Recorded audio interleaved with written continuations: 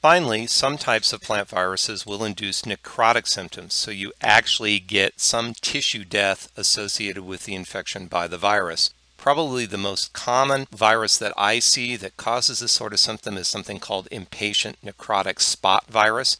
This particular virus will cause problems on a variety of different types of greenhouse grown ornamentals, including impatiens and begonias. In this particular case, an infected begonia plant you can see a lot of little flecks of dead tissue in the leaves on this plant. There's a white arrow pointing to a larger necrotic area where you can get a little bit of a sense of some ring spots in the tissue. Whenever I see begonias with this sort of symptom, I start thinking about impatiens necrotic spot virus. The next thing that I would probably look for in this plant would be the presence of thrips because this virus is transmitted by thrips.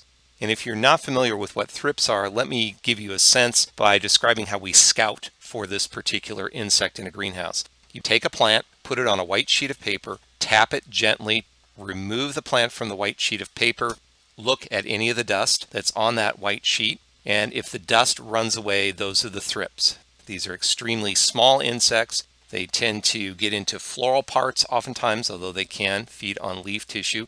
And they can cause a lot of damage on their own, but from our perspective, they're important because they move this virus around. If I really wanted to confirm that this plant is infected with impatiens necrotic spot virus, then I would use a lab test. They're actually what are called immunostrips. They're akin to home pregnancy tests, and these tests have been designed to detect specific types of plant viruses.